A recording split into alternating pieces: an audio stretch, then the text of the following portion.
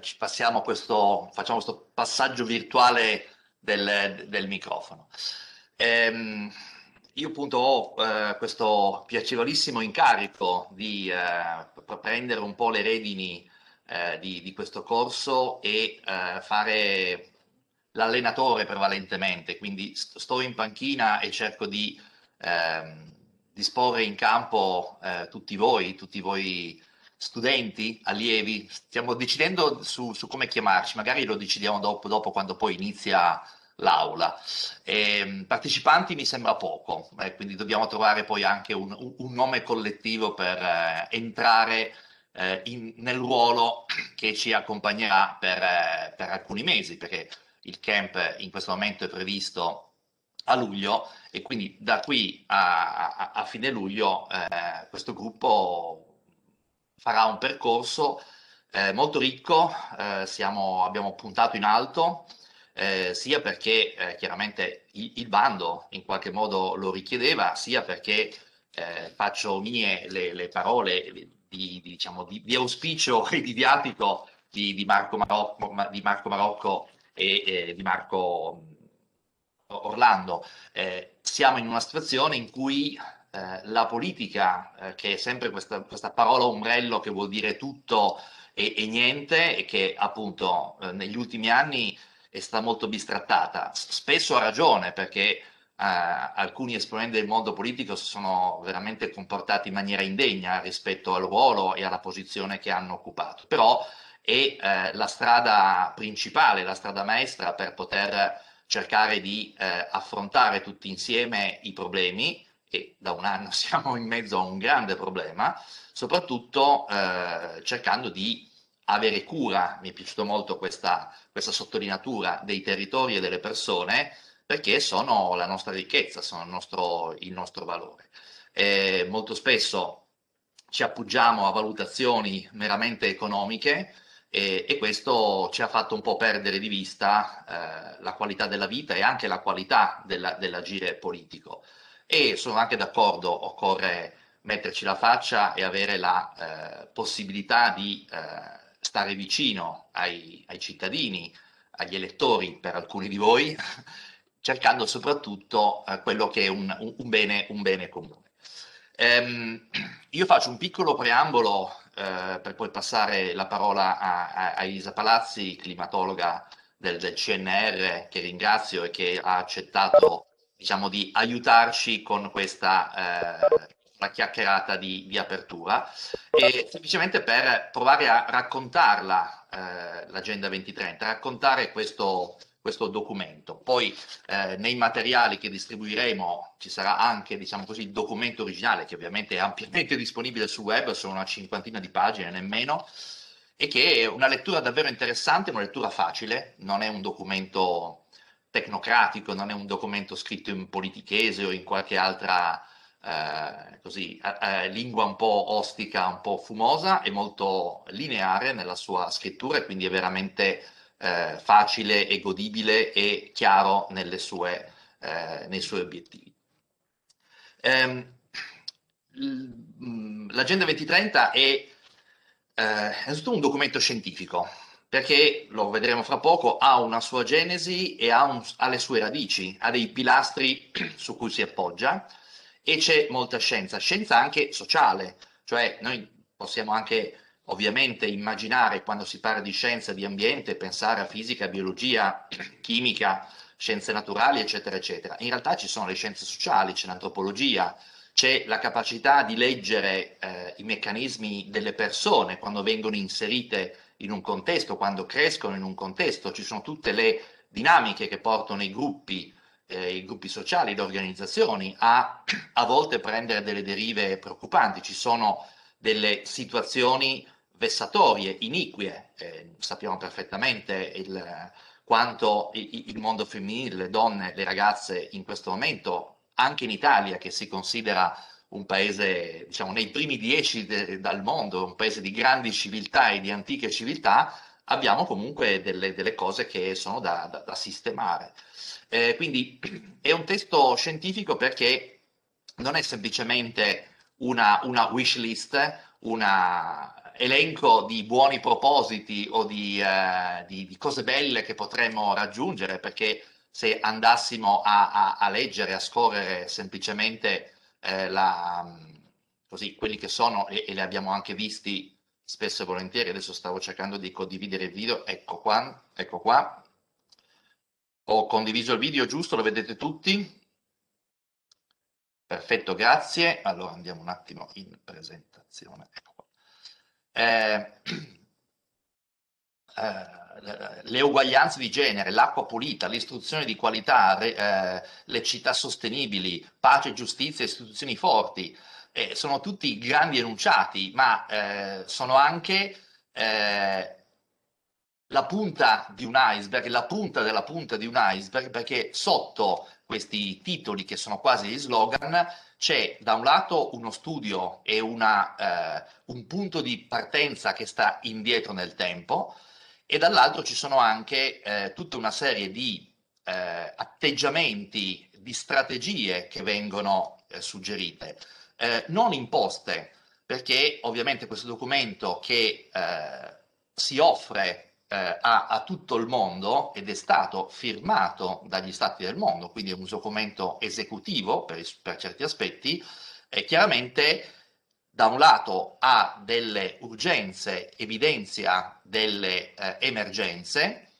eh, le circostanze, le quantifica, eh, suggerisce degli, ob- dei, degli obiettivi che sono i traguardi. Noi abbiamo i 17 gol che probabilmente conosciamo tutti perché ormai fortunatamente se ne parla in abbondanza, ma sotto ciascuno di questi, eh, di questi goal ci sono dei punti specifici che, che, vengono chiamati traguardi e quindi non sono tanto i 17 gol, questi sono i titoli, di, di, come se fossero il sommario, un, un, un, un elenco eh, i capitoli di un libro, eh, ma ci sono 169 traguardi molto precisi, molto dettagliati, che poi vanno chiaramente declinati, eh, collocati nei territori e quindi è un documento capace di parlare a tutti i paesi del mondo contemporaneamente perché ciascun paese, ciascun amministratore che lo prende in mano e lo legge, sicuramente ci si ritrova, dice, ah, questa cosa tocca, tocca a me, tocca al mio territorio, è un'emergenza che ho in casa e quindi devo, devo occuparmene. Ehm, quindi in questo senso, oltre ad essere un documento scientifico, eh, la, eh, l'Agenda 2030 è anche un documento politico ed è un documento operativo. Eh, ovviamente l'attuazione di strategie locali, di politiche locali, sta in capo a, a, a livello politico in cui l'Agenda 2030 viene, viene letta, però eh, circoscrive molto bene, e lo vedremo per, cioè, incontro dopo incontro, una serie di, eh, di traguardi da raggiungere. E, ehm, andando a leggerlo e soprattutto leggendo le, eh, la, la, parte introduttiva, eh, ci sono una, le prime circa 7-8 pagine sono di introduzione, ci sono una serie di punti in cui si racconta sia la genesi che eh, il modo in cui eh, gli estensori del, del, del, documento hanno lavorato e anche tutte le istanze, eh, gli, eh, diciamo, gli, scenari che in qualche modo si vogliono eh, raggiungere attraverso questo documento. Ehm, leggo alcuni estratti perché sono molto significativi. Ehm, intanto il titolo del, del, completo del documento è, virgolette, trasformare il mondo, due punti, l'Agenda 2030 per lo sviluppo sostenibile. Quindi iniziamo con trasformare, che è esattamente quello che, fa, che dovrebbe fare un, un politico. Eh, noi tendiamo a dire che il politico amministra, ovviamente, perché riceve in qualche modo per l'incarico che copre eh, una serie di situazioni, un territorio, un'istituzione, un servizio, una funzione e deve portare avanti quello che quel servizio, quella funzione eh, richiede. Però eh, noi sappiamo che in questo momento semplicemente amministrare nel senso di mantenere, diciamo così, lo status quo non basta più, sia perché siamo in un'emergenza che peraltro è, a volte la dico in maniera anche un po' sorridente e non leggera, la pandemia è un po' una sorta di grande allenamento alla prossima emergenza che è già lì dietro l'angolo, che è quella ambientale. La, la, gli scienziati, fra poco ne parleremo, eh, la, la, possono raccontare con i numeri e con gli scenari che eh, grazie all'elaborazione eh, dei dati possiamo concretamente eh, tracciare nei prossimi anni e, quindi noi siamo in qualche modo avvisati, dobbiamo prepararci e quindi possiamo considerare l'emergenza in corso come una sorta di anche allenamento a cose eh, che eh, dovremmo affrontare poi nei prossimi 20, 30 anni, 40 anni. Um, quindi la prima parola che è nel titolo è trasformare eh, il mondo, perché ovviamente vale per tutti, due punti, l'agenda. Anche questo è un termine che nella politica, si, si, anche nei trattati internazionali, si, si trova parecchio, però è proprio un bel termine, a parte che è un termine di casa, è una parola latina, e, e vuol dire le cose da fare. Io sull'agenda io vado a segnarmi quelle che sono le, le cose che devo fare e quindi le segno pagina per pagina, le scrivo e, e, le scrivo così non perché bah, è simpatico farlo, perché mi devo ricordare che il giorno tale devo fare questo o quell'altro. E magari mi segno anche qualche promemoria in anticipo perché se devo fare una, una conferenza complessa non comincio 5 minuti prima rispetto all'ora in cui devo presentarmi davanti allo schermo, mi preparo per tempo. E quindi nel, nel, nel senso di agenda c'è sicuramente il concetto di cose da fare, perché se non le faccio, porca miseria, mi sono dimenticato o ho mancato al mio dovere, se no che lo, cosa lo scrivo a fare, e nel senso anche di tempo. Io devo prepararmi per tempo perché se metto una cosa in agenda per settembre e devo consegnare un libro, eh, sarà il caso che cominci a scriverlo, anzi forse sono già in ritardo se comincio oggi, dovevo cominciare prima. Quindi questo è un pochettino quello che eh, andremo a eh, scoprire, quindi quelle cose che sono da fare e in quali tempi sono da fare rispetto a tutti gli obiettivi che qui sono, sono segnati. E, ehm, mh, leggo ancora un paio di, di estratti dai, eh, diciamo dalle, dalle, premesse del, del documento. Eh, questa agenda è un programma d'azione per le persone, il pianeta e la posterità. Essa persegue il rafforzamento della pace universale in una maggiore libertà. Riconosciamo che sradicare le povertà in tutte le sue forme e dimensioni, inclusa la povertà estrema, è la più grande sfida globale ed è un requisito indispensabile per lo sviluppo sostenibile. Siamo decisi a liberare la razza umana dalla tirannia della povertà e vogliamo curare e salvaguardare il nostro pianeta. Siamo determinati a fare i passi audaci e trasformativi che sono urgentemente necessari per portare il mondo sulla strada della sostenibilità e della resilienza. Gli obiettivi e traguardi qui enunciati sono stimoli e hanno nei prossimi 15 anni una lista di interventi da compiere in aree di importanza cruciale per l'umanità e il pianeta. L'agenda mira a realizzare pienamente i diritti umani di tutti e a raggiungere l'uguaglianza di genere e l'emancipazione di tutte le donne e le ragazze. I 17 goal sono interconnessi, indivisibili e bilanciano le tre dimensioni dello sviluppo sostenibile, la dimensione economica, sociale e ambientale. Qui c'è una piccola eh, precisazione perché in questo testo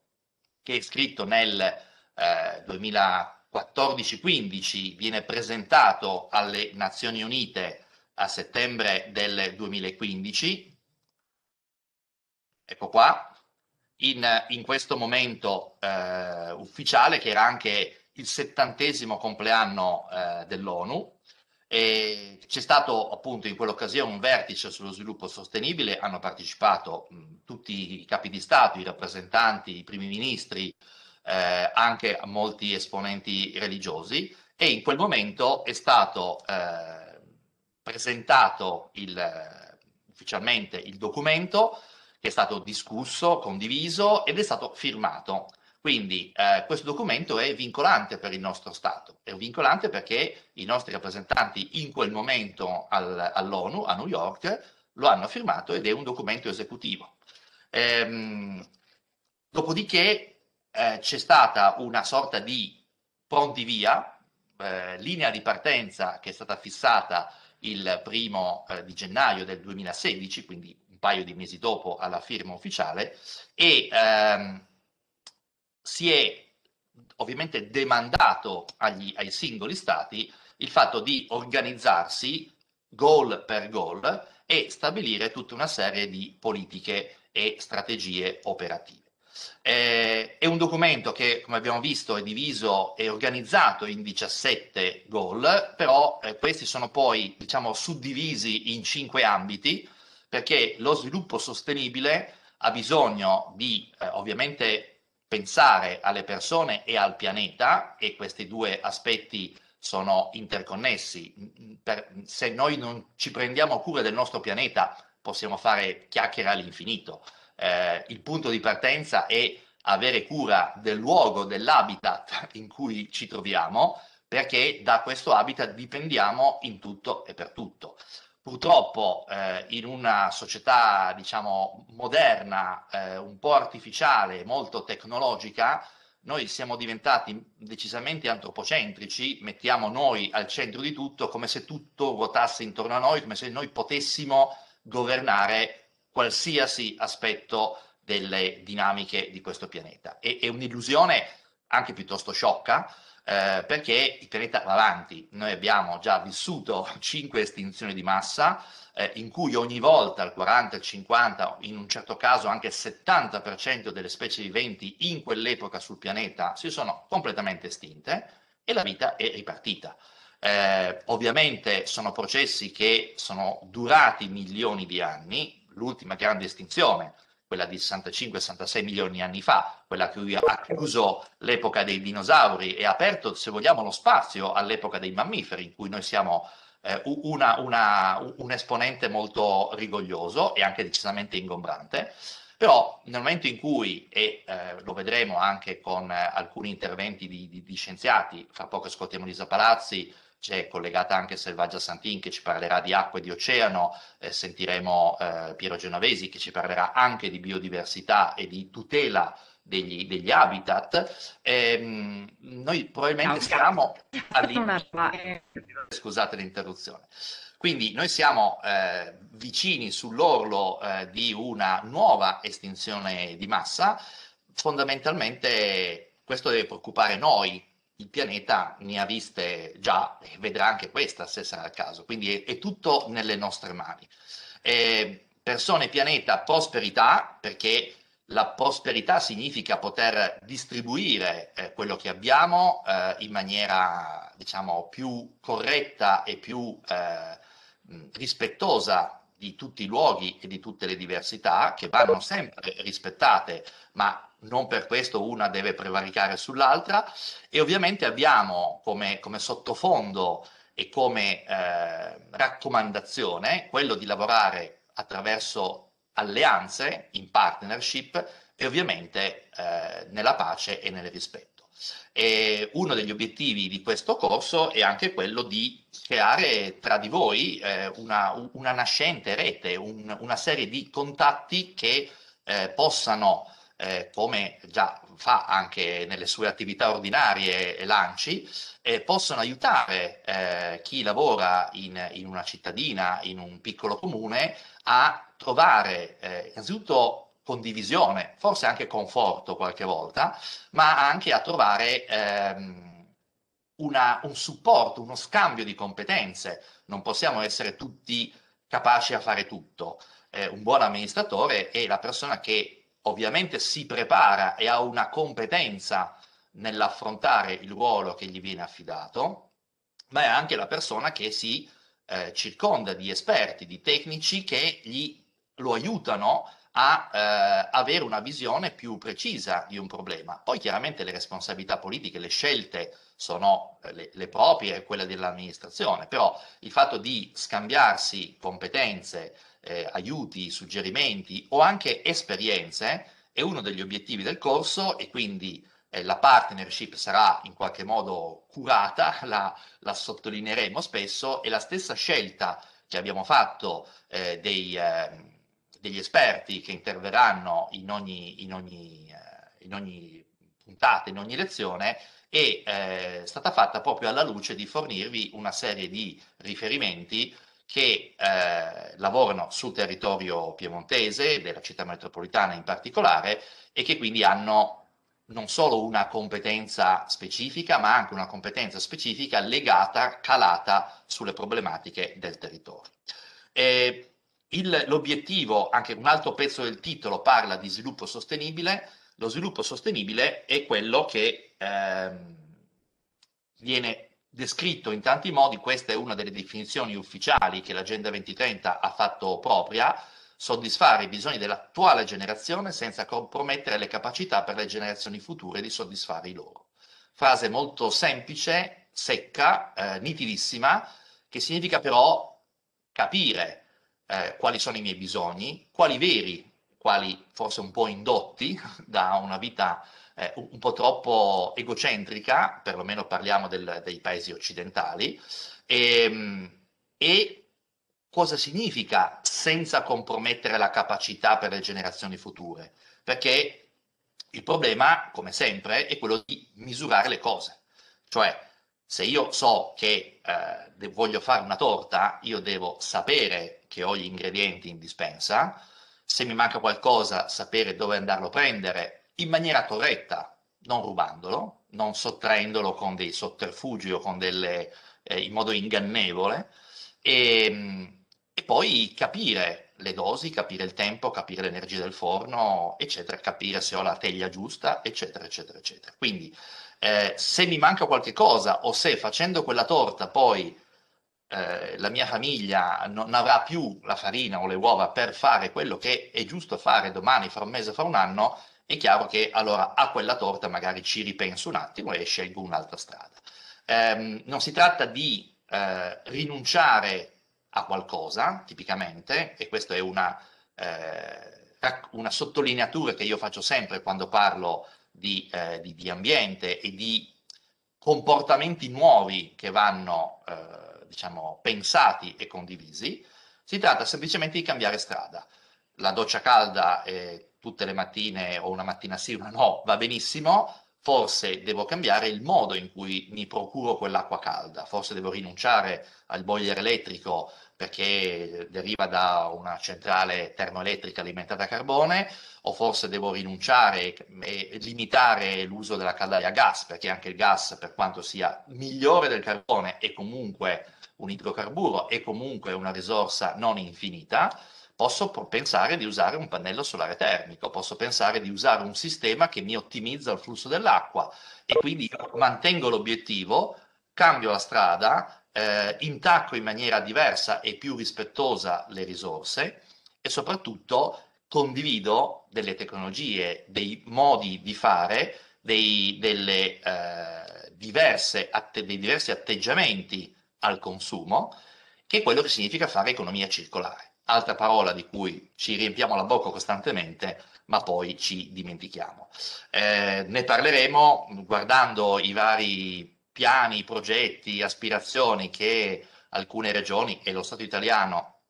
stanno facendo per quanto riguarda i fondi europei, dove un elemento vincolante è usare questi soldi per fare anche sviluppo sostenibile, io ho letto delle cose che veramente mi hanno fatto cascare i gomiti, perché cioè, chiedere soldi per fare quel tipo di operazione, in questo momento non faccio esempi, ma sicuramente più avanti li farò, significa non aver capito nulla di quello che è sviluppo sostenibile ed essere fortemente ignoranti sulle questioni ambientali, sulle questioni di equità sociale, non solo all'interno del nostro paese, ma anche rispetto agli altri paesi del mondo. E alcune, alcuni progetti sono evidentemente un tentativo di arraffare soldi europei perché passano a portata di mano e quindi cerco di approfittarne in maniera assolutamente inconsistente rispetto agli obiettivi che quei fondi si, si, eh, diciamo, si, si invitano a raggiungere. E, um, ultima cosa, e quando si parla di misura, ovviamente eh, la scienza ci aiuta, questo è una, un quadro riassuntivo dell'overshoot day paese per paese, cioè il giorno in cui abbiamo in qualche modo esaurito le risorse, quelle che ci spettano, tra virgolette. Noi italiani siamo qui verso, eh, il, verso il mese di maggio, eccoci qua, 14 maggio, nel 2020 al 14 maggio abbiamo esaurito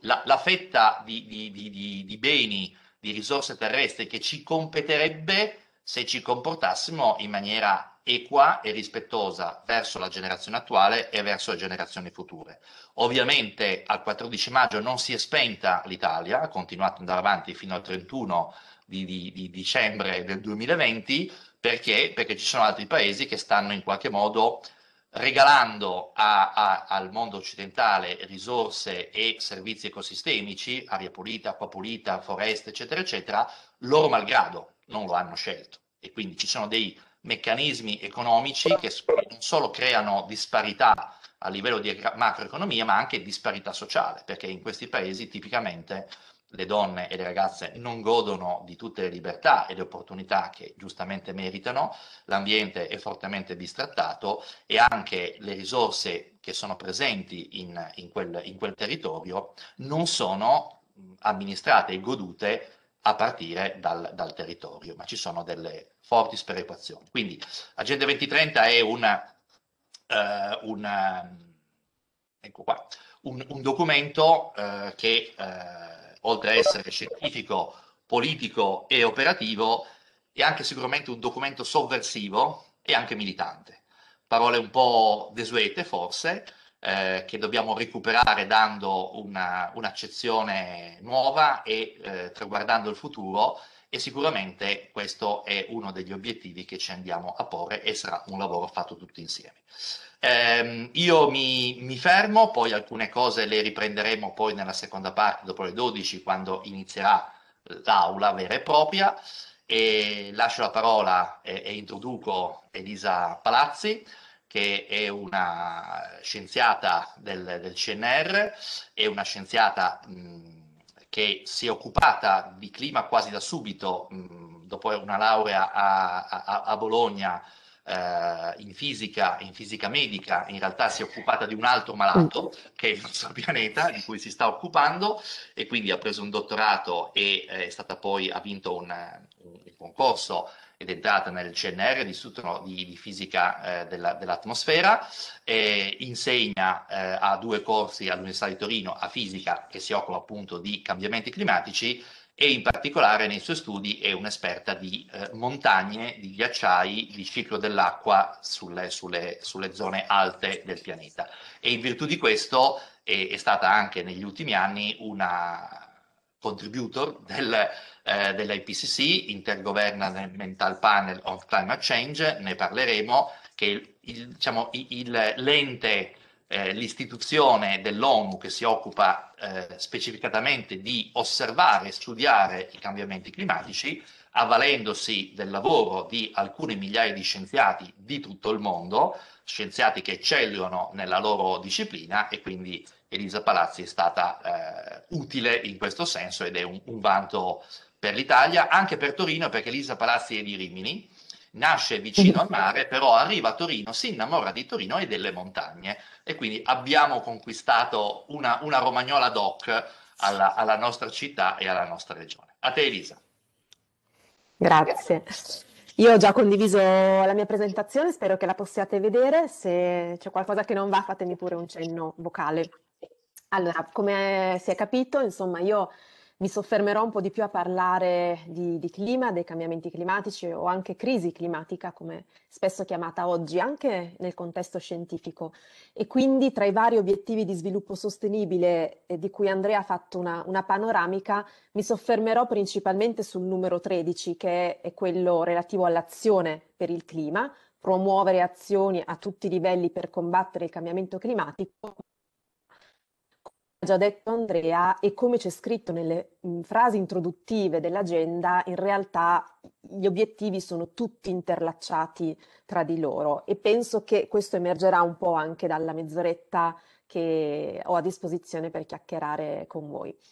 Allora, inizio proprio con la primissima frase che eh, c'è nella descrizione dell'obiettivo 13 e dice il cambiamento climatico interessa i paesi di tutti i continenti è la primissima frase. Perché metto questa frase? Perché mi permette subito di eh, parlare di una delle caratteristiche distintive eh, dei cambiamenti climatici di oggi, attuali, eh, e che eh, li distinguono parecchio da quelli del passato, anche più recente della Terra, gli ultimi 2000 anni, eh, diciamo, ed è proprio la loro globalità.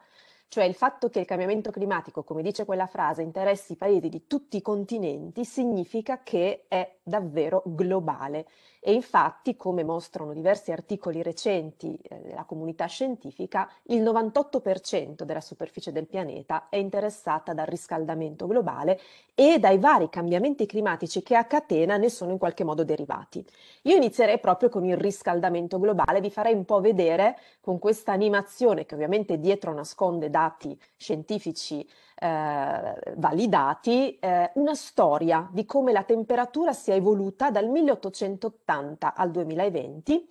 con eh, i colori che rappresentano quelli più eh, verso l'azzurro, le cosiddette anomalie negative di temperatura, cioè laddove la temperatura del pianeta è stata più bassa confrontata con una certa climatologia di riferimento e i colori invece gialli o rossi le anomalie positive, quindi temperature più alte della media. Osservate come il mondo cambia colore dal 1880 e a proseguire fino ai giorni nostri. Ora faccio partire l'animazione. Gli anni li vedete in basso in me. Qui siamo agli inizi del 1900, ancora il mondo è prevalentemente azzurro, ma già a metà del 1900 vedete che si colora un po' più di arancione e di giallo. Fine degli anni 80, siamo anni 90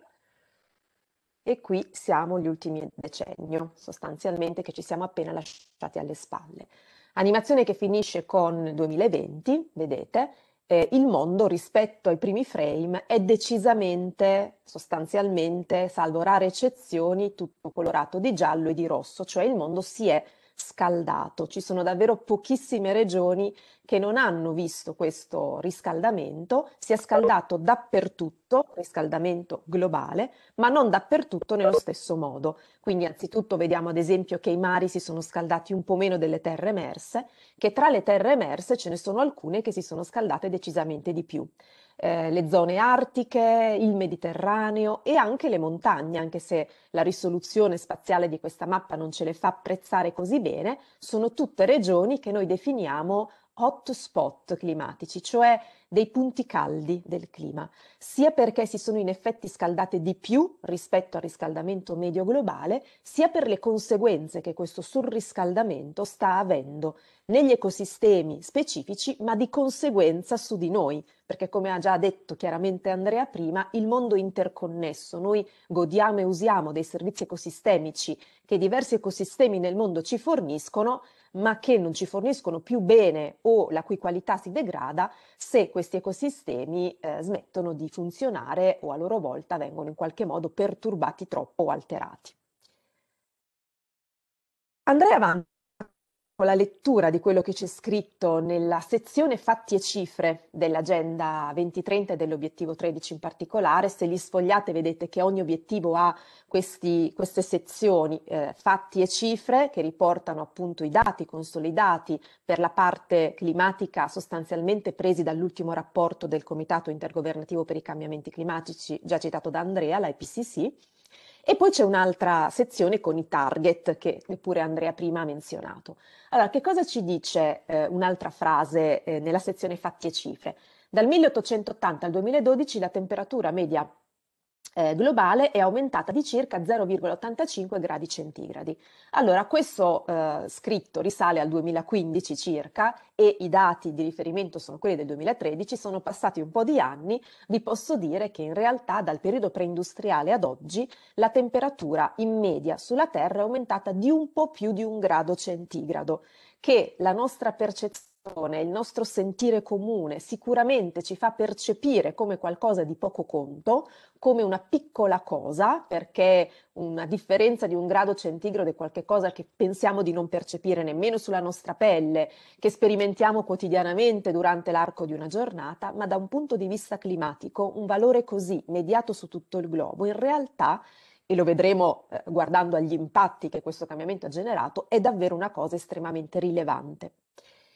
Vado avanti un momento nella lettura, non per addentrarmi nello specifico in quello che c'è scritto dopo, ma per farvi capire già le connessioni profonde che ci sono tra un cambiamento climatico che ci può sembrare poca cosa e un impatto socio-economico.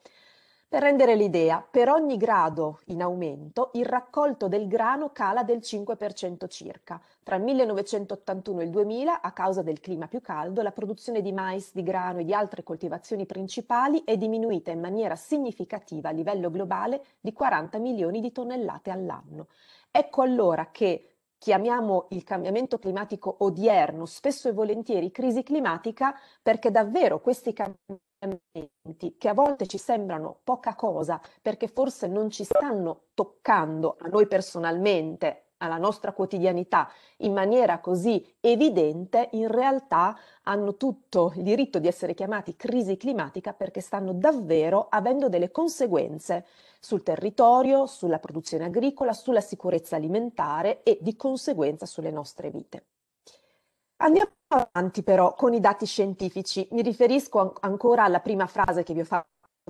prima, vi voglio fare vedere questo aumento di un po' più di un grado centigrado di cui vi ho parlato. Rispetto all'animazione che vi ho fatto vedere prima, la linea nera che vedete qui salire su questo grafico rappresenta proprio l'aumento anno per anno della temperatura media su tutto il globo dal 1880 al 2020. In realtà i dati eh, sono i pallini grigi e i pallini grigi sono proprio la temperatura media misurata in ogni anno mediata su tutto il globo. La linea nera è una media mobile per rendere quella linea meno spezzettata, ma in realtà è importante guardare la linea grigia spezzettata perché ci fa capire che anche se anno dopo anno la temperatura va su e giù, cioè noi siamo in un regime di riscaldamento globale, ma non significa che ogni anno è più caldo di quello che lo ha preceduto, non è una crescita monotona della temperatura, tuttavia se uno va a guardare la tendenza a lungo termine vede che quella linea nera sale. Se non fossimo stati in un regime di riscaldamento globale, la linea nera sarebbe rimasta attorno allo stesso livello anno dopo anno o magari sarebbe scesa se invece il mondo si fosse raffreddato. Invece vedete chiaramente che sale.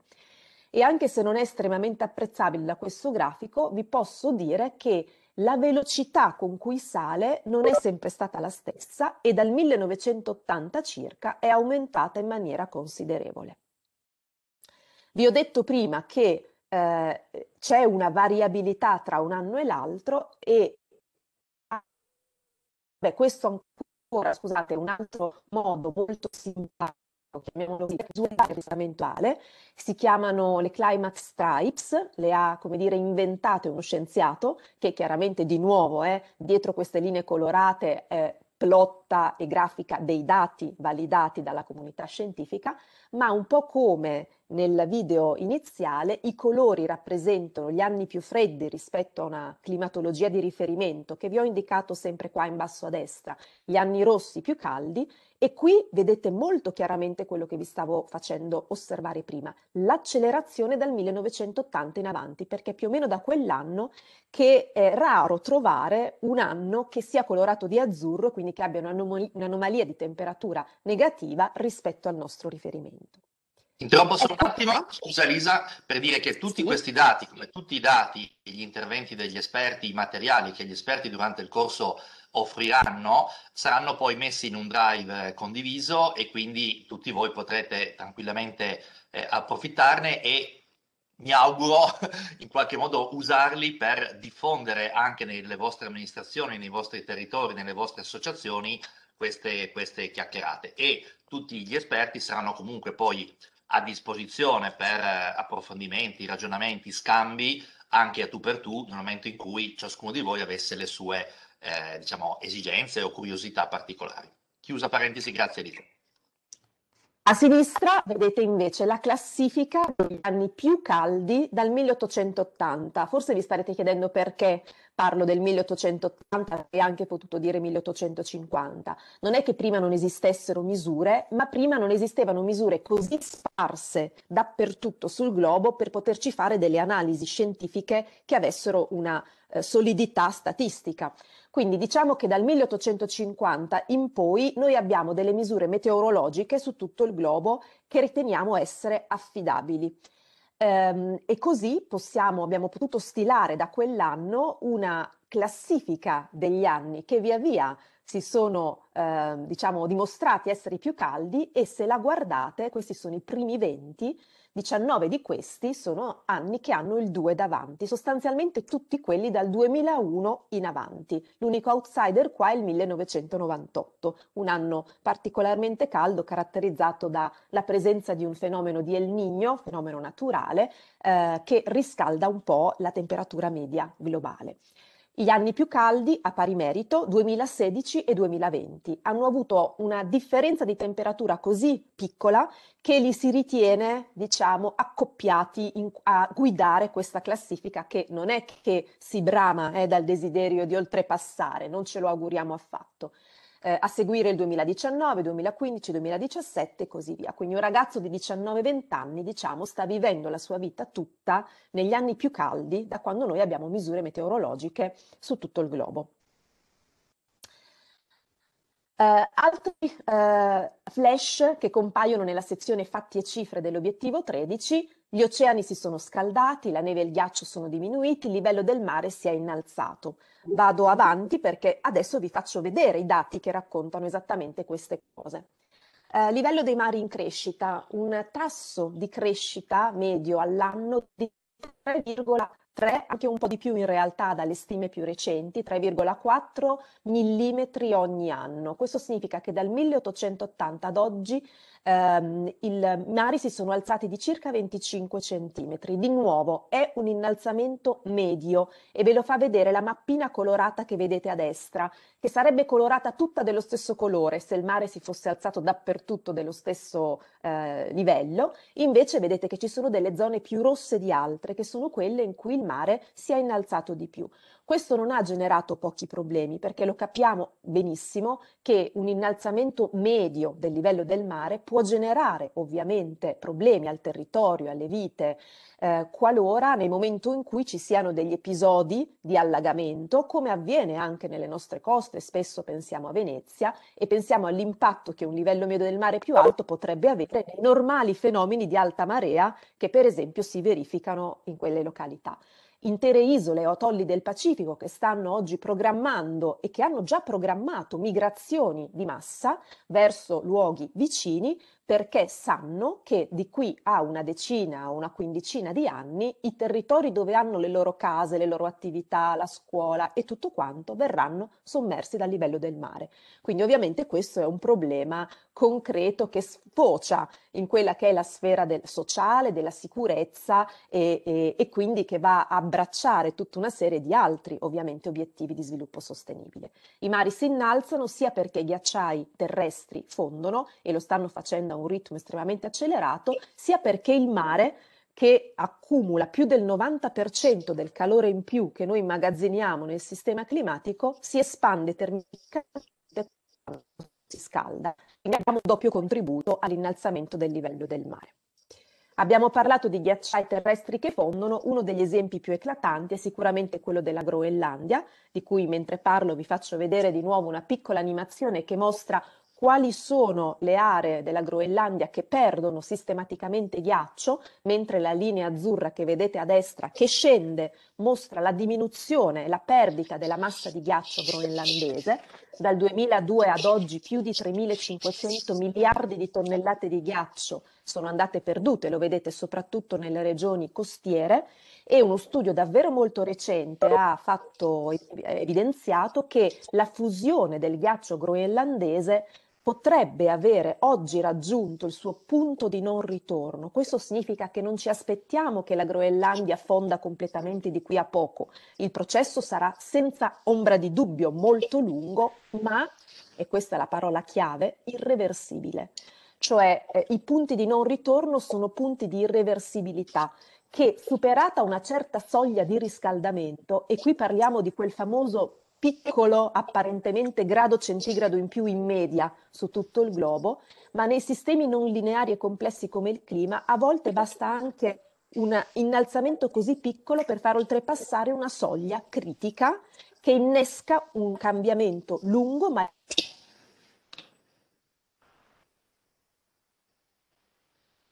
ghiaccio marino è eh, estremamente vulnerabile. Prima abbiamo parlato del ghiaccio terrestre, citando l'esempio della Groenlandia, che ovviamente non è eh, l'unico esempio di ghiaccio terrestre, ma eh, abbiamo anche le grandi porzioni di ghiaccio marino, ad esempio la banchisa artica, cioè quando l'oceano, quando l'acqua del mare si congela, come avviene appunto nel mar glaciale artico, che sta subendo e eh, facendo vedere molto chiaramente i segni dell'aumento di temperatura. Um, negli ultimi 40 anni circa il mar glaciale artico ha perso un'estensione di ghiaccio pari a quella di 10 Italie. Se volete avere un po' un'idea di, eh, di quanto ghiaccio davvero non ci sia più. Uh, Abbiamo, abbiamo perso un attimo Lisa Palazzi, adesso sicuramente la connessione si ripristina. Ne approfitto per fare una sottolineatura. Ehm, tutti i dati che riguardano la situazione dell'ambiente, intesa come eh, la situazione che sta vivendo il pianeta in questo momento, sono quelli che poi stanno alla base delle politiche sociali e di macroeconomia. Se il mare si alza, è chiaro che la pesca, un porto o l'attività turistica su un litorale può andare in crisi. Se a quella pesca eh, partecipa una cooperativa di donne e eh, perché in qualche modo le hanno dato l'ultimo pezzetto libero perché in quanto donne non le hanno considerate troppo e queste vanno in difficoltà con un'attività magari nata da poco, stavo, stavo colmando un attimo la, il tuo, il tuo, la piccola defiance.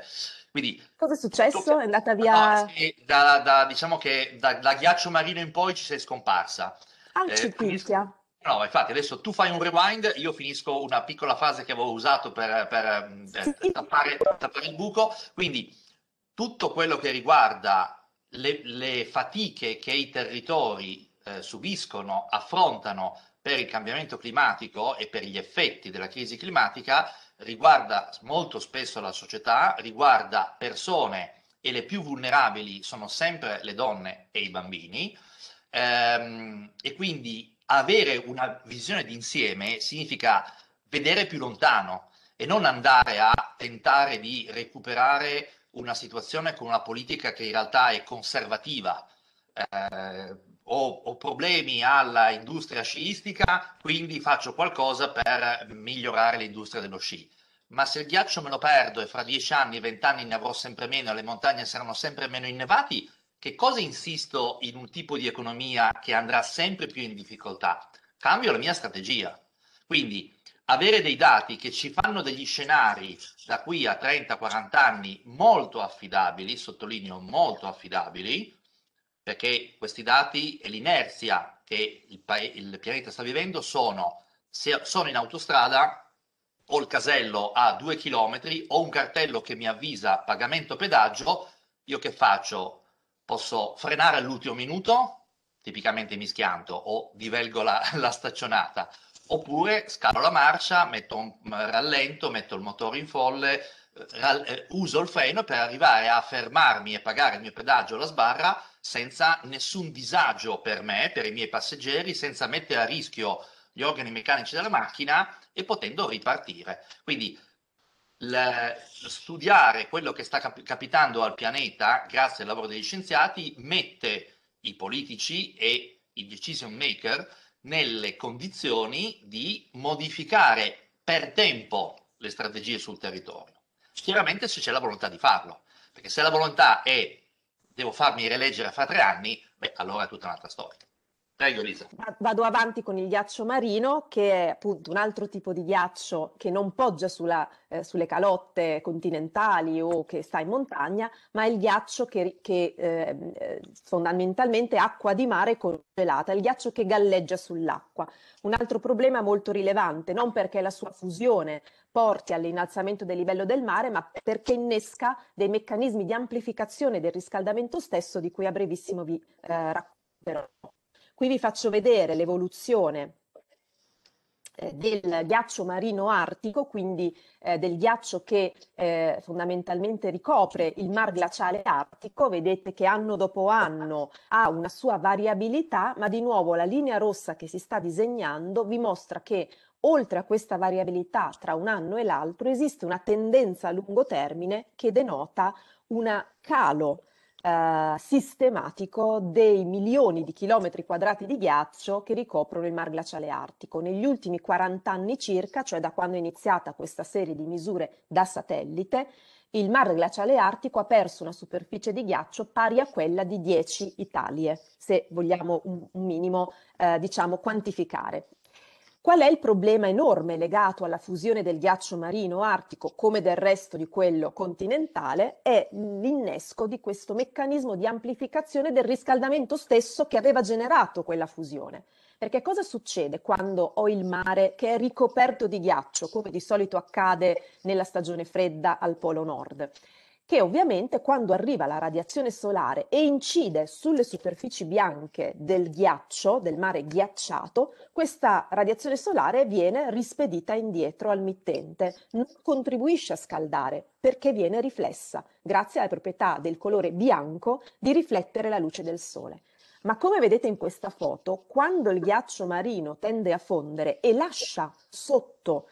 l'oceano, l'oceano è più scuro, è un ottimo assorbitore di radiazione solare, la radiazione solare penetra nell'oceano, lo scalda e chiaramente scaldandosi poi l'oceano a sua volta riemette calore, un calore che fa fondere ancora di più il ghiaccio rimasto e che fa surriscaldare ancora di più il pianeta, perché poi il ciclo si ripete indefinitamente, andando a sommarsi ogni volta all'effetto del ciclo precedente. Ecco perché si chiama retroazione positiva, non perché sia una cosa buona, ma perché ogni volta che il giro si ripete, l'effetto si somma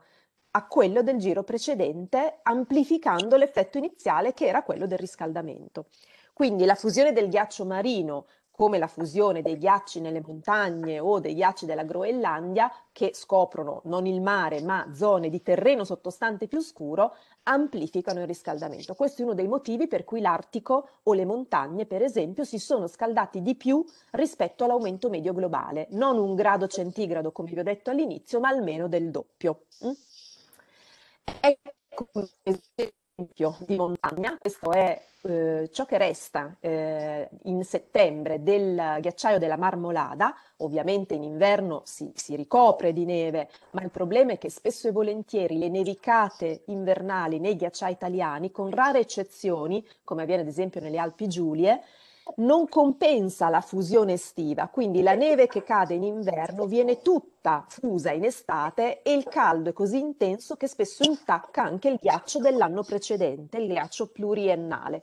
Quando un ghiacciaio si presenta in queste condizioni, capite bene che di bianco che riflette la luce del sole ce n'è ben poco e quindi quel meccanismo di amplificazione del riscaldamento anche in questo caso è estremamente attivo. Uh, problemi legati al um, caldo, per esempio nelle regioni di montagna, è, eh, sono la fusione della neve e lo scongelamento del permafrost. Ve li cito perché entrambi hanno delle ripercussioni sociali, economiche sul territorio e quindi su di noi davvero rilevanti. La fusione della neve, la fusione della neve normalmente avviene verso fine primavera, inizio estate e questo cosa significa? Che l'acqua di fusione della neve arriva a noi a valle e proprio nel momento giusto, con le tempistiche giuste, quando ne abbiamo bisogno, in estate, quando è caldo, quando piove poco. Ma cosa accade, come sta accadendo, quando la neve fonde prima, già a fine inverno, inizio primavera? Che l'acqua di fusione rischia di essere già finita in estate, quando ne abbiamo più bisogno, e lì dobbiamo essere oculati e capaci di raccoglierla e tenerla da parte per poterla poi usare successivamente al bisogno. Questo noi lo facciamo abbastanza efficacemente, ma ci sono dei posti nel mondo, vedi sud-est asiatico per esempio, dove tutta questa eh, azione di adattamento e di prevenzione in qualche modo del possibile danno futuro non vengono messi in campo con altrettanta efficacia. L'acqua è persa, non perché scompaia nel nulla, dato che fa parte del ciclo inesauribile dell'acqua, ma magari va a finire nel mare, dove per essere utilizzata necessita di dispendio eh, di energia e di denaro, mh, vedi ad esempio i processi di desalinizzazione ovviamente estremamente importanti.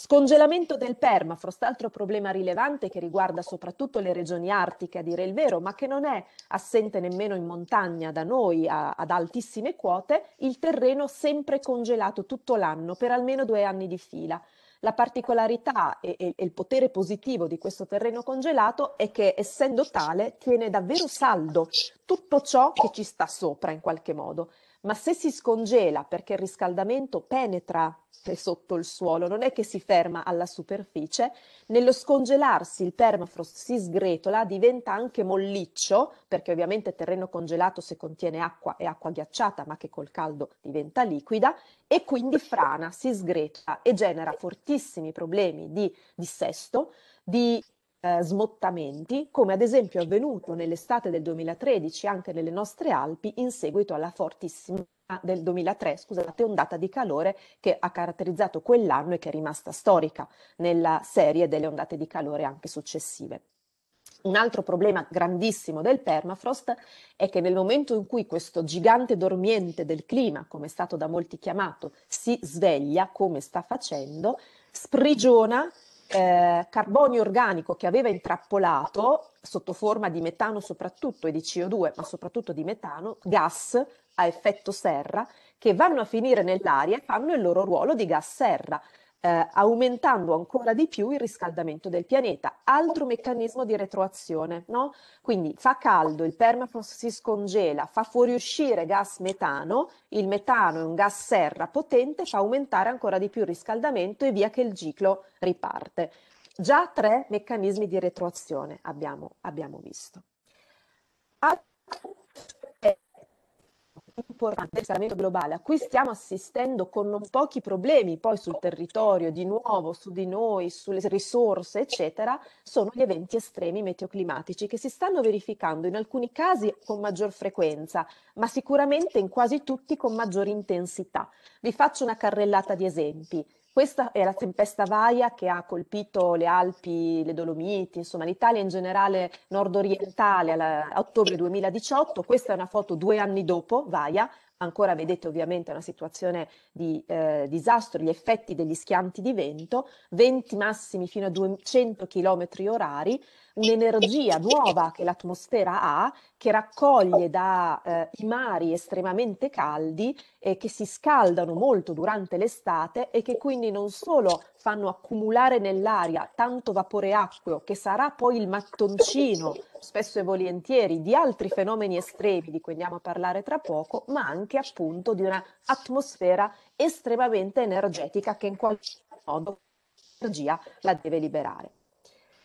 Le alluvioni, appunto, eh, sono un'altra caratteristica importante degli effetti del riscaldamento globale, eventi estremi alluvionali, precipitazioni più rare ma più concentrate in una località, come è successo qua in, in alcune località tra Piemonte e Liguria nell'ottobre del 2020, ha avuto una quantità di acqua in un giorno pari a quella che di solito piove in sei mesi, in mezzo anno, quindi tutta concentrata in un luogo e in un momento. Questo chiaramente quando il luogo è vulnerabile, ma a fronte di fenomeni del genere anche difficile non avere comunque impatti e conseguenze, è ovvio che eventi di questo tipo diventano molto facilmente eventi catastrofici. Ok?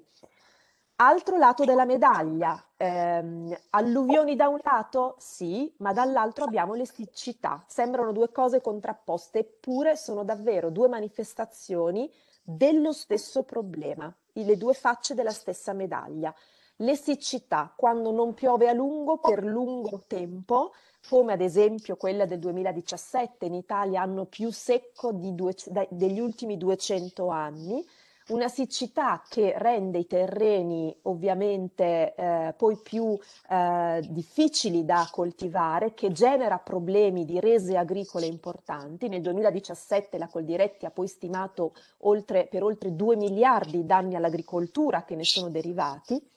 Quella siccità ha investito l'Italia intera da nord a sud, le montagne erano completamente secche, i nevai si erano prosciugati in anticipo, molti rifugi alpini hanno cessato le loro attività in anticipo perché non avevano più i nevai da cui trarre l'acqua per farli funzionare. Ma non sono, badate bene, solo le siccità estive, che tutto sommato si possono mettere in conto, che ci preoccupano, sono quelle che stanno avvenendo sempre di più fuori stagione, in autunno, in inverno, laddove il territorio si dovrebbe caricare, soprattutto il suolo e il sottosuolo, si dovrebbero caricare dell'acqua che poi serve successivamente, ecco, sono quelle siccità che oggi preoccupano anche molto, chiamiamole così, fuori stagione, perché non permettono di farsi le riserve di umidità e di acqua che servono. E allora quando questo succede nelle zone montane, dove in Italia abbiamo la maggior parte delle foreste, capiamo bene che laddove inizia per qualche motivo tendenzialmente antropico, ma non solo, un incendio, un terreno secco che non vede l'acqua da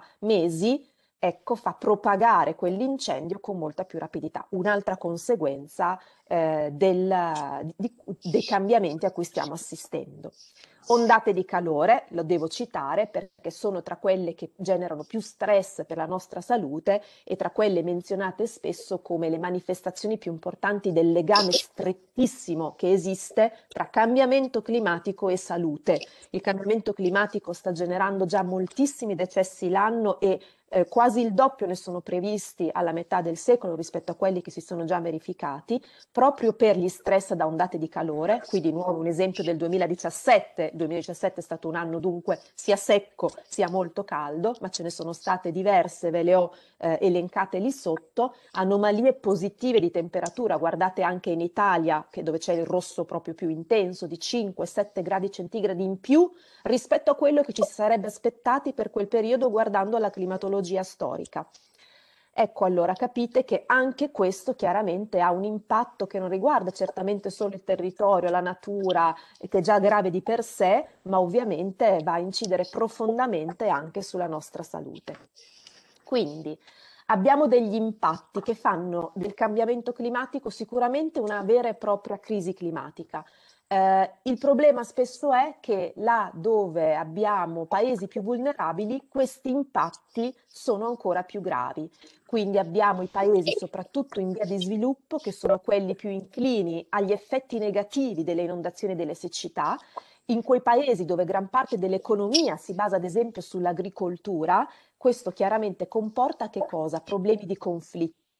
approvvigionamento idrico, migrazioni per andare a cercare dei posti dove si possa coltivare qualcosa, dove si possa mangiare, dove si possa far crescere la propria famiglia. I paesi più vulnerabili, i paesi in via di sviluppo, sono anche quelli con minor capacità di adattamento. Poi vedremo in che cosa consiste questo adattamento, che è sicuramente una delle armi che abbiamo per eh, far fronte al riscaldamento.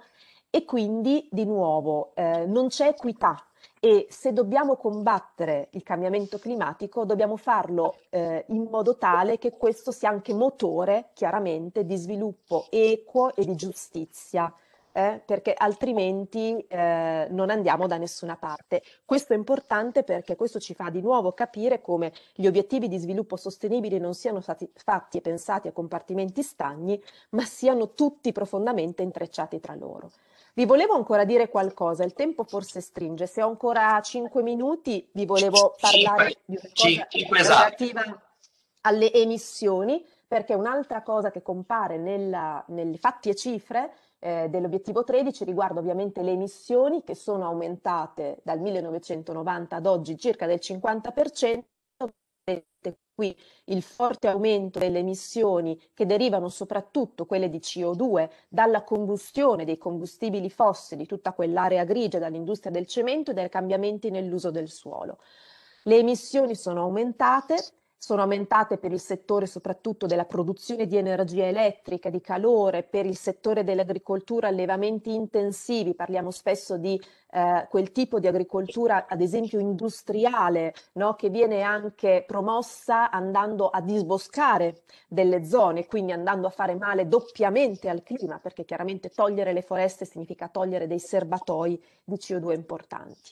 Importante anche notare che quando noi emettiamo eh, eh, con queste attività che vi ho detto, eh, gas a effetto serra in atmosfera, questi eh, non si traducono direttamente in concentrazioni che si accumulano nell'atmosfera stessa,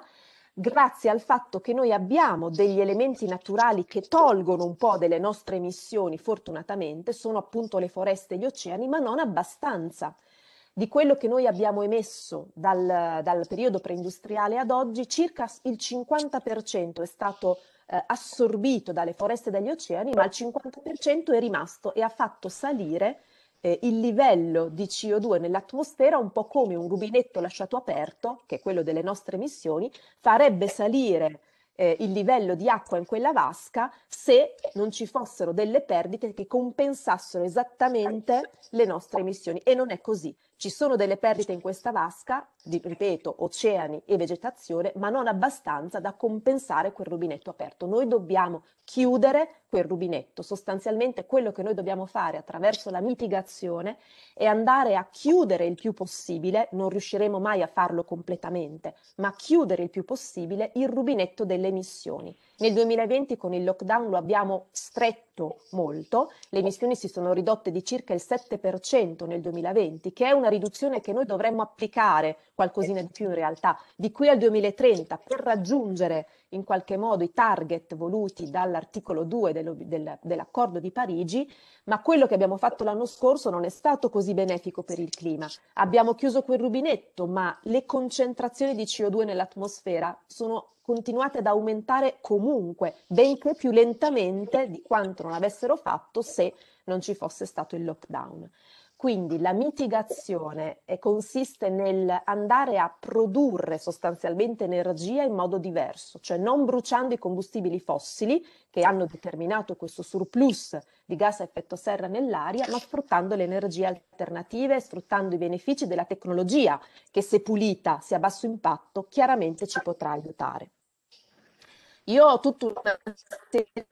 di cose che vorrei far vedere, ma ditemi voi perché potrei andare avanti allora, ancora ci po'. Esatto, no, ma magari mi fermo. Grazie Elisa, anche perché ovviamente questo, l'obiettivo 13 è stato particolarmente la ribalta in questo intervento, ma è anche poi ha un suo spazio durante il, durante il proseguo del corso. Ci interessava sottolineare appunto come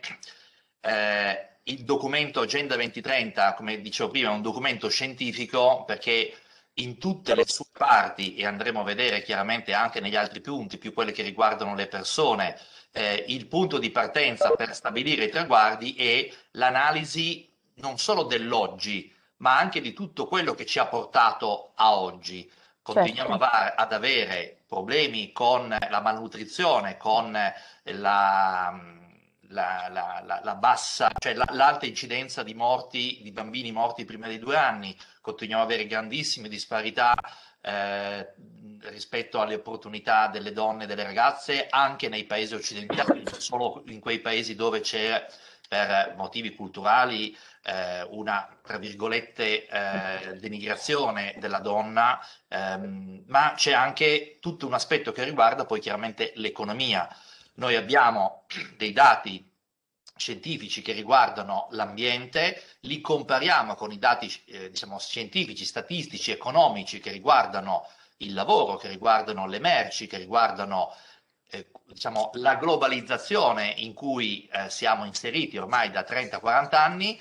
e mettendo insieme le cose possiamo vedere che certe politiche o certi eh, meccanismi eh, rischiano di incastrarsi molto presto. Il lavoro c'è, si tratta di spostarlo. Non posso più fare una certa attività con la stessa efficacia, con lo stesso successo di prima, perché mi cambia il clima intorno. Se lo so per tempo, faccio delle politiche per spostare il lavoro da un settore a un altro, perché contemporaneamente altri settori cominciano ad avere bisogno di teste, di mani, di cuori e così via. E questo riguarda ovviamente tutto il mondo, ma lo vedremo anche per quanto riguarda il nostro territorio. Eh, ringrazio Elisa Palazzi per essere stata qui con noi oggi. Grazie a voi. Avremo, eh, Scusa appunto... Andrea, ti interrompo. Scusami Andrea, ti sì. interrompo un secondo solo perché ci sono delle domande. Ah, sì, domanda. grazie, noi non abbiamo, giusto, è vero, scusateci. Eh, poi con, eh, con l'aula e, e con, con, le attività in Zoom sarà poi più facile intervenire e vi, vi caldeggeremo a intervenire. C'è una domanda in chat, Elisa? Se, sì. Se... Eh, aspetta che la vado a recuperare. Il tasso di assorbimento di CO2 da oceani e foreste è stato costante nell'ultimo secolo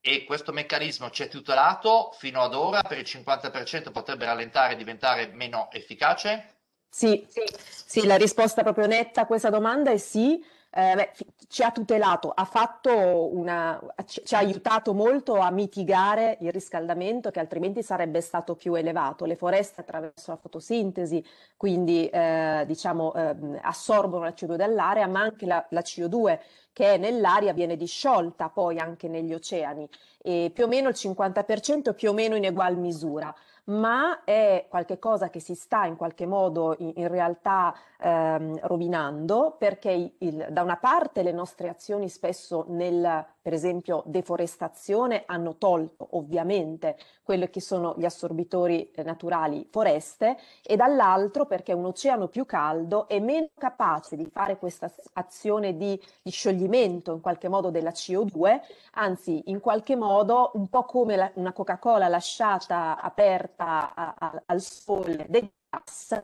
allo stesso modo eh, lo fanno gli oceani. Quindi eh, sì, il riscaldamento sta anche in qualche modo agendo con un'altra retroazione, se volete, sugli oceani che riscaldandosi sono meno capaci di fare questa azione di ehm, assorbimento della CO2. Per cui chiaramente ehm, questa capacità degli assorbitori naturali non è rimasta costante nel tempo e si, sta, si è un po' ridotta. Eh, chiaramente questo fa pensare che una possibile eh, buona pratica potrebbe essere quella di piantare, per esempio, molti foreste, molti alberi, addirittura si fanno tanti conti su quante porzioni di superficie eh, si possano piantare, si possano riafforestare per risolvere questo problema. Ecco, non è lì la soluzione del problema. È ovvio che piantare alberi serve, aiuta, ma è soprattutto poi la gestione delle foreste che eh, le fa dei buoni assorbitori o meno e di nuovo non, non esclude, anzi non, non, implica evitare di agire alla radice del problema che è eh, appunto smettere di emettere, chiudere o stringere il più possibile quel rubinetto.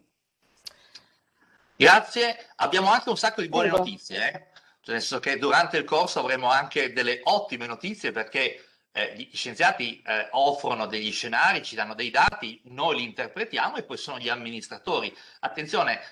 nessuno scienziato dice adesso voglio governare il mondo così e cos'ha. Eh, la scienza mette a disposizione un'interpretazione molto precisa, molto qualificata eh, della situazione, ma poi sta all'amministratore decidere da che parte andare, sia in quanto politico, ma anche eh, in quanto consumatore, quindi in qualche modo orientare tutta la parte che riguarda la produzione di beni e servizi in una direzione che ci, eh, che, che ci immaginiamo e che sappiamo essere più sostenibile sia per il pianeta ma anche rispetto per le, le, le stra gli, gli, strati di società che in questo momento sono eh, più emarginati e più fragili. E, ehm, questo corso si chiama, l'abbiamo detto e anche Gianna Betta l'ha sottolineato all'inizio, amministrare e comunicare con rispetto. La comunicazione è una parte fondamentale della, della vostra azione di, di, amministratori, ma anche, e mi rivolgo a quella parte dei, dei corsisti che eh, sono più rappresentanti del, della società civile,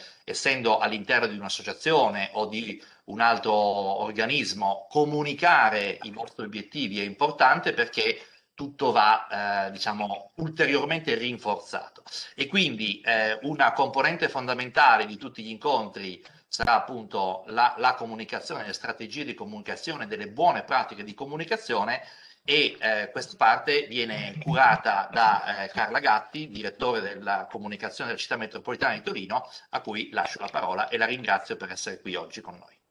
Grazie, grazie a voi. Buongiorno, bentrovati, buongiorno a tutti e tutte. E mi spiace cambiare così drasticamente argomento e, e passare da questi temi trattati magistralmente veramente da Elisa Palazzi che è stata affascinante nella sua spiegazione anche di, di, di problemoni per il nostro pianeta. Eh, io vi faccio fare un bagno di pubblica amministrazione, mi scuso se eh, qualcuno di voi saprà già benissimo le cose che vado a dire. Eh, sembra strano parlare di comunicazione pubblica perché ormai al giorno d'oggi siamo tutti giornalisti, siamo tutti comunicatori, siamo tutti capaci di ehm, superare le mediazioni della comunicazione e dell'informazione pubblica e molto spesso poi assistiamo a qualche guaio. Allora, io mh, magari nel corso delle, di queste lunghe giornate di formazione avremo modo, anche con altri colleghi che lavorano con me, di vedere ehm, best practice o problemi che, hanno, che sono stati creati da una cattiva comunicazione pubblica. Io per oggi vorrei, dato che è la giornata introduttiva, fare proprio un inquadramento su quella che è la comunicazione pubblica, sulle sue basi, sulle sue origini, e molti sicuramente sono, essendo già amministratori, lo sanno, ma magari non è nemmeno detto. Sarà capitato a qualcuno di voi eh, in una pubblica amministrazione sentire qualche battutina su chi fa l'ufficio stampa, su chi fa il comunicatore pubblico. Ah, vabbè, ma voi che lavoro fate? Che lavoro è? Voi vi divertite tutto il giorno. Ecco, questa scarsa considerazione della comunicazione pubblica eh, è proprio quella che crea poi i danni. Allora, io intanto comincio a dirvi, mh, ripeto, magari lo sapete, che la comunicazione pubblica è normata per legge nel nostro paese e ha 21 anni, solo 21 anni, eh, paradossalmente. La legge è la numero 150, è del 2000 e si chiama Disciplina delle attività di informazione e di comunicazione delle pubbliche amministrazioni. Oggi è il caposaldo della normativa della comunicazione pubblica ed è l'unica legge in realtà, dovrei dirvelo alla fine, ma ve lo dico adesso, è stato aperto da qualche mese un tavolo presso il Ministero della Funzione Pubblica che si chiama Legge 151. Cosa vuol dire? Che si sta lavorando al superamento della legge 150, perché 21 anni dopo, bontà loro, ci si è resi conto anche da parte dei legislatori nazionali, eh, sollecitazione della base, che forse è il caso di eh, aggiornare questa normativa Pensate solo in 21 anni, ma molti di voi erano nel girello probabilmente 21 anni fa, pensate solo 20, in 21 anni come è cambiata la comunicazione e l'informazione nel nostro paese, anche quindi all'interno della pubblica amministrazione. Quindi con la legge 150 del 2000 la comunicazione pubblica è stata per l'unica volta istituzionalizzata e ha ottenuto un riconoscimento esplicito e anche una legittimità nell'apparato normativo italiano ed è stata distinta proprio per norma dalle altre attività interne alla pubblica amministrazione. Questa legge ha definito gli strumenti e i soggetti della comunicazione pubblica e presenta sia l'informazione che la comunicazione come una risorsa indispensabile e uno degli elementi principali dell'attività di una pubblica amministrazione. Io non so se il nostro vice sindaco metropolitano è ancora collegato, o meglio, so che è collegato ma magari sta lavorando e non ci ascolta, però lui potrebbe essere un valido testimone per dire come sia difficile per chi fa il pubblico amministratore prendere consapevolezza dell'importanza di queste parole che vi ho appena detto. Naturalmente quando ci si insedia, si diventa sindaci, consiglieri comunali, bene, i piccoli comuni so bene che non ci sono gli uffici stampa e gli URP, però diciamo in un ente medio, quando ci si insedia ehm, probabilmente si pensa di non aver bisogno di chi fa la comunicazione pubblica. E, ripeto, perché negli anni siamo diventati tutti molto autonomi e, ehm, e invece è una legge che lo dice, anche se ve lo dico subito, la legge 150 non impone per nessuna amministrazione delle sanzioni pecuniarie e quindi capite benissimo perché in questi 21 anni è stata applicata male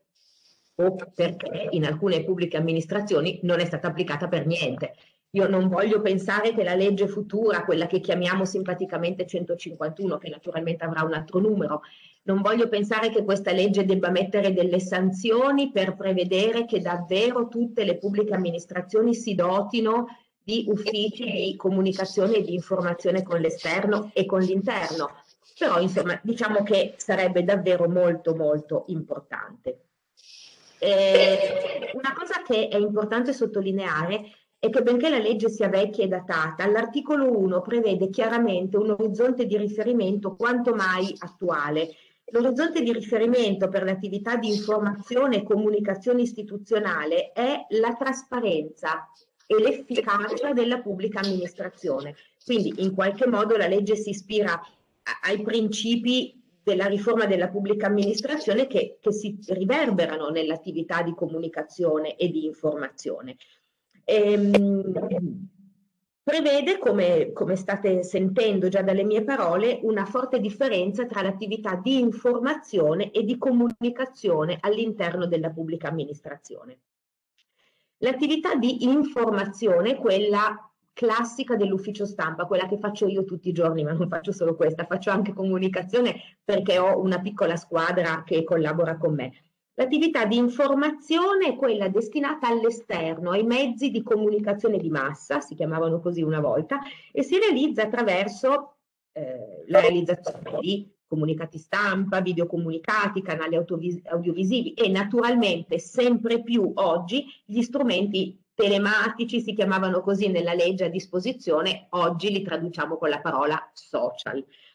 Il compito della informazione della pubblica amministrazione è consentire, scusate leggo ma vi voglio dire esattamente le parole della legge, consentire una diffusione omogenea e coerente dell'immagine dell'ente. Quindi naturalmente è un'attività che eh, nasce ogni giorno, nasce, si inventa e eh, ogni giorno si modifica attraverso la narrazione e la divulgazione dell'attività all'esterno, all'esterno con i mezzi di comunicazione che sono mediatori di quello che l'ente, la pubblica amministrazione, un ente, un comune, una città metropolitana, una regione, un ministero, un governo fanno ogni giorno ed è fondamentale che lo dicano, lo dicano ai giornalisti che lavorano nei mezzi di informazione perché sono loro che fanno la mediazione con i cittadini. Lo so che i social hanno superato questo tema, ma io resto convinta dell'importanza fondamentale della, dei mezzi di informazione eh, ben gestiti, che, che, che medino veramente le informazioni a vantaggio del cittadino e facciano chiarezza. Altra cosa è l'attività di comunicazione. L'attività di comunicazione si divide evidentemente in comunicazione esterna ed interna. Quella esterna a chi si rivolge? Direttamente ai cittadini, ovvio, alle altre amministrazioni, agli enti, alle imprese, alle associazioni, a tutti quanti. Attraverso la comunicazione esterna si contribuisce a, co a costruire la percezione della qualità servizio, del servizio che la pubblica amministrazione offre. E naturalmente parliamo di customer, è il canale di ascolto eh, e di verifica del livello di soddisfazione di quello che è il nostro cliente. Chi sono i clienti della pubblica amministrazione? I cittadini, evidentemente. Ehm, c'è poi invece la comunicazione interna che è altrettanto importante. Eh, la comunicazione interna è quella che fa comunità. All'interno di un ente pubblico, di una pubblica amministrazione, piccola, media o grande che sia, chi lavora deve sentirsi parte di un progetto, deve sentire un, un, uno spirito di comunità. Eh, all'inizio di questa presentazione, questa mattina, ormai un paio di ore fa, eh, l'amico Marco Orlando, che saluto e, e, mi complimento ancora per il suo intervento, l'ho già fatto prima con un messaggio, ha detto, ehm, ha detto bene, mh, vi ha fatto l'esempio di un errore nella riforma istituzionale che è stato la legge del Rio con la presunta caccia al colpevole di tutti i mali dell'umanità che erano le province e la modifica da provincia a città metropolitana. Ecco, noi dipendenti di città metropolitana, quindi le colleghe Gianna, Emanuela, Enrica, Monica che, che, che con noi stanno sentendo questa mattina, siamo stati vittime della modifica istituzionale che ci ha trasformato da provincia di Torino, con la sua storia del 1859, a città metropolitana di Torino.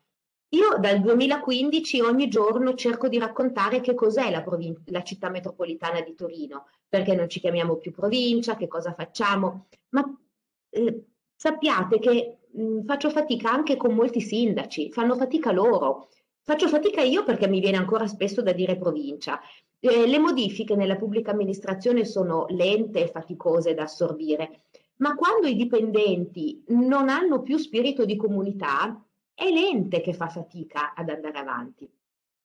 I dipendenti della pubblica amministrazione hanno fatto un grandissimo sforzo nel cambio di pelle e, e cerchiamo di eh, mantenere la barra dritta. Avere lo spirito di comunità è anche una delle eh, occasioni che, che, che, vengono costituite da quella che si chiama comunicazione interna. Torno alle finalità delle attività della legge 150. Eh, ve, le, ve ne numero, sono otto mi pare sintetizzate. Favorire la conoscenza delle leggi, insomma delle norme, diciamo dell'attività della pubblica amministrazione per facilitarne l'applicazione da parte dei cittadini. Favorire l'accesso ai servizi pubblici promuovendone la conoscenza favorire processi interni di semplificazione delle procedure. Guardate, in 21 anni eh, spero che non lo tocchino perché la semplificazione non c'è stata tantissimo, quindi questo è fondamentale. Favorire la conoscenza del percorso dei processi amministrativi. Favorire processi interni di modernizzazione degli apparati. Mi pare che il ministro Brunetta l'altro giorno dicesse un po' queste cose. Credo che la pubblica amministrazione di modernizzazione ne abbia bisogno come il pane sensibilizzare su temi di interesse pubblico e sociale. Ecco, noi oggi lo stiamo facendo, spiegando a dei giovani amministratori o futuri amministratori cosa sono gli obiettivi 2030, favoriamo proprio ehm, la sensibilizzazione sui temi di interesse pubblico e sociale. Illustrare le attività e il funzionamento delle istituzioni, promuovere l'immagine delle amministrazioni in Italia, in Europa e nel mondo, oibò, dando visibilità a eventi di importanza locale, regionale, nazionale ed internazionale. Ecco, in queste poche parole sta contenuto ehm, il perché noi facciamo anche informazione e comunicazione su tanta progettualità, non solo i progetti europei, quelli che cerchiamo per avere soldi, ma facciamo tanta attività di cooperazione internazionale e diffondiamo i temi della cooperazione internazionale. Quindi avete capito che questa legge chiarisce il ruolo dell'attività di comunicazione e di informazione e evidenzia la loro importanza proprio per il funzionamento delle pubbliche amministrazioni. All'interno di questa legge eh, sono state eh, per la prima volta, appunto nel 2000, specificate le, le figure professionali che sono coinvolte in questa attività. Eh, perché ve lo dico? Perché se siete o sarete pubblici amministratori, dovete tenere presente che questa attività, esattamente come quella degli ingegneri eh, che, che, costruiscono le strade, che fanno la viabilità o che fanno, progettano i ponti, eh, non può essere fatta fare a chiunque. Eh, bisogna avere un po' di mestiere e quindi la, la legge prevede le figure professionalmente coinvolte. Per quanto riguarda l'attività di comunicazione, c'è l'URP, l'Ufficio Relazioni con il Pubblico. Questo è proprio obbligatorio, ma ripeto, non ci sono multe, quindi i piccoli comuni so bene che fanno fatica, spesso hanno un sindaco volontario, un messo comunale e un impiegato dell'anagrafe, ci manca anche che gli imponiamo di tenere l'URP, però è, è il concetto che è obbligatorio venga recepito. L'attività di informazione è gestita dall'ufficio stampa che deve essere per legge costituito da giornalisti iscritti all'ordine, che siano eh, pubblicisti o professionisti. Noi in città metropolitana siamo tutti professionisti.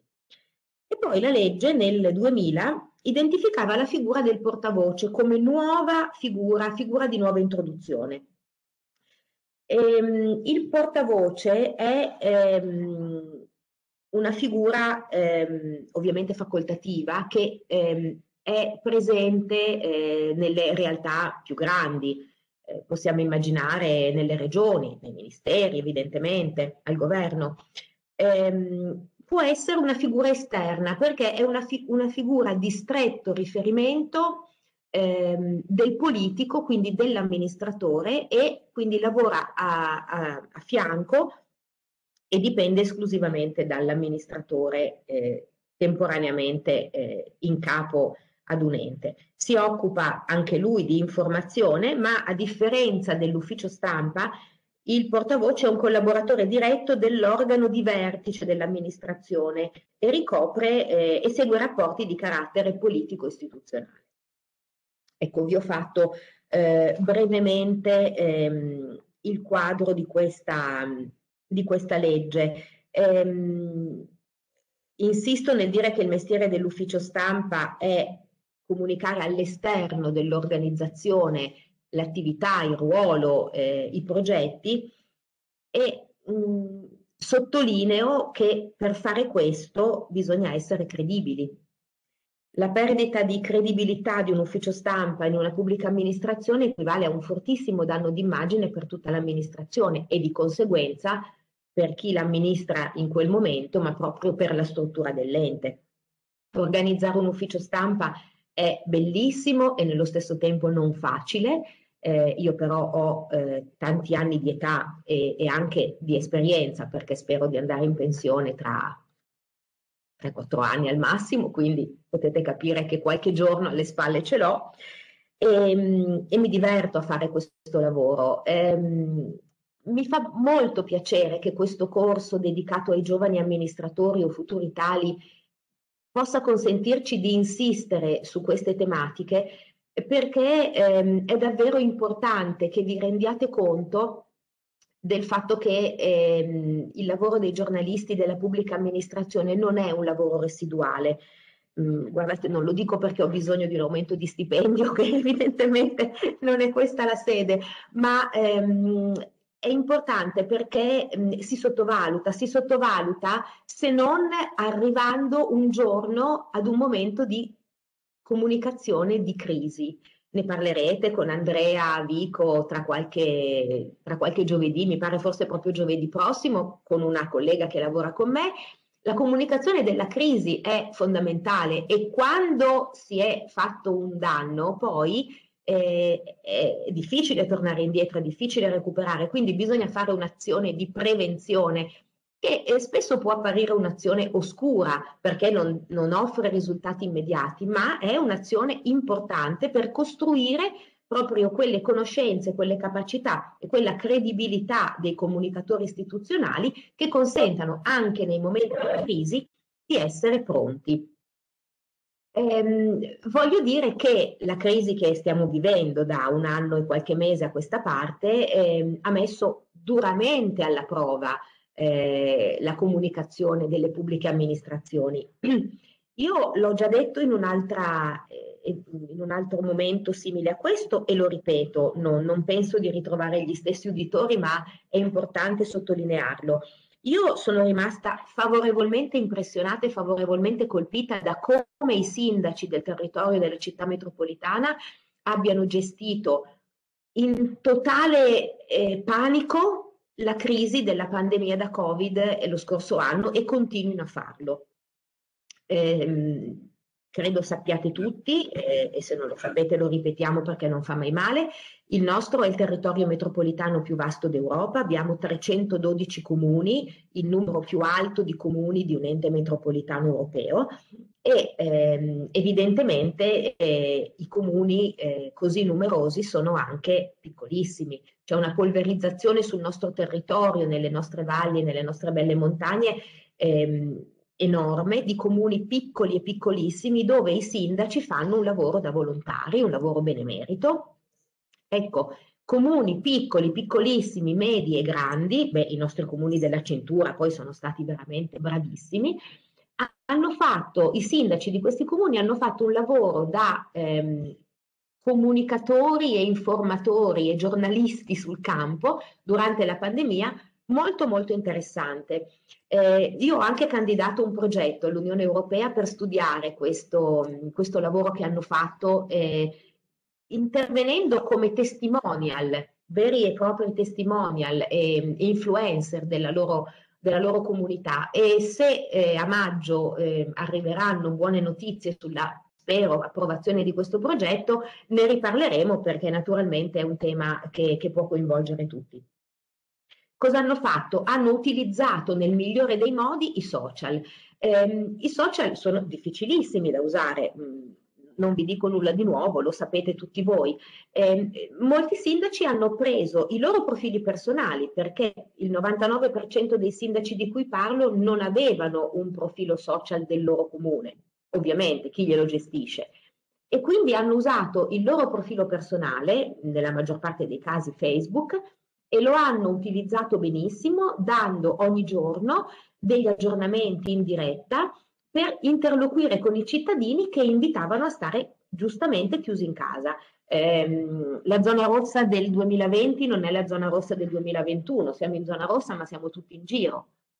Lo sappiamo. Nel 2020 ci eravamo veramente spaventati, stavamo più attenti, stavamo più chiusi, ma la gente non sapeva, non capiva ed era molto preoccupata. Ecco, i sindaci hanno fatto un ottimo lavoro e molti stanno continuando a farlo. Ehm, vorrei chiedere ai, ai, nostri partecipanti se hanno piacere di scriverci nella chat ehm, un loro contatto social, perché mi piacerebbe cominciare a raccogliere mh, i loro profili e eh, poi nel corso delle prossime, eh, delle prossime sessioni interloquire o anche non durante le prossime sessioni. E, ehm, se avete piacere e lo volete scrivere in chat, credo sia... Eh, Carla, lo, lo facciamo nella prossima sessione perché adesso siamo ancora in un momento diciamo un po' aperto, dalla, fra, fra un attimo lascio poi a Gianna Betta diciamo, la conclusione di questa prima parte della mattinata. Fra pochi minuti ci troviamo in aula, propriamente detta, siamo solo fra di noi e quindi nel contratto d'aula abbiamo anche un, un momento dedicato a questo perché tua, il tuo invito era è comunque già contemplato ed è molto importante e ti ringrazio. Va bene, allora guardate, io vedo che è mezzogiorno e quindi eh, chiudo. Avevo una paginetta sull'etica pubblica nella comunicazione, ma la tengo perché tanto è scritta qui, sono i miei appunti di ieri sera e credo che da qui alle prossime occasioni ci sarà modo. Vi ringrazio se, se mi avete ascoltato. Grazie, a te Betta. Bene, eh, direi che la mattinata è stata decisamente interessante. Ringrazio tutti i relatori e relatrici eh, perché veramente sono, anche personalmente ho ritrovato spunti comunque sempre, sempre innovativi, sempre nuovi, quindi davvero molto interessante. Allora io ringrazierei davvero tutti e tutte quelle che hanno partecipato, eh, diciamo extra, extra classe, eh, i comuni partner che ho visto che erano presenti in alcuni, in alcuni casi. Eh, questa mattina in realtà saremmo dovuti essere eh, ad Avigliana in teoria se non fosse stata zona rossa, eh, speriamo di riuscire insomma, a eh, spostare la presenza, la presenza, fisica almeno del, del gruppo classe eh, in, que in, quella sede una delle, delle prossime lezioni. Eh, ringrazio ancora tutte e tutti, direi che ci, ci, si sposta con, diamo 10 minuti di pausa naturalmente, eh, salutiamo tutti quelli che hanno partecipato e che hanno ascoltato la mattinata, eh, grazie mille in particolare appunto a, a Elisa Palazzi, e a Carla Gatti, eh, che hanno dato un contributo, un contributo, molto importante. Ci riaggiorniamo diciamo, sulle nostre pagine istituzionali per tutte le, le novità e le altre iniziative collegate e invece ci ritroviamo a breve con col gruppo classe. Grazie mille anche a Marco Orlando e, e a Marco Marocco che ci hanno aperto la giornata. Grazie ancora. Alle 12.15 sul link Zoom riprendiamo le attività. Grazie. Buon lavoro. Buon lavoro.